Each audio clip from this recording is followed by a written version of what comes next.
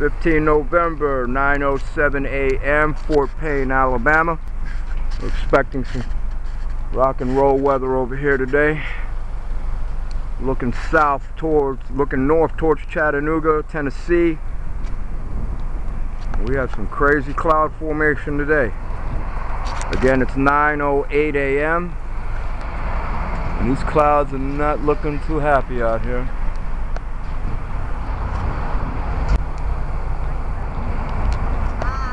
Good morning. Got to be prepared. We get some tornado action this weekend. This is the precursor for it right here. It's 9.08 a.m. Time to be prepared.